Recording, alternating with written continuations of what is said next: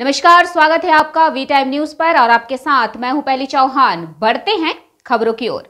आज SP Jangipur PRD Anand Roy ने Farakka police station की ओर से नए गेस्ट हाउस का उद्घाटन किया।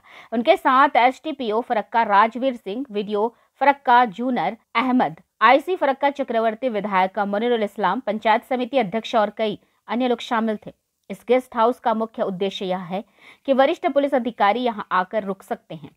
फरक्का थाने में एक नए गेस्ट हाउस का उद्घाटन किया गया है। इस गेस्ट हाउस में चार वीआईपी कमरे, खूबसूरत सजावट, पुलिस प्रशासन की कई सुविधाएँ हैं।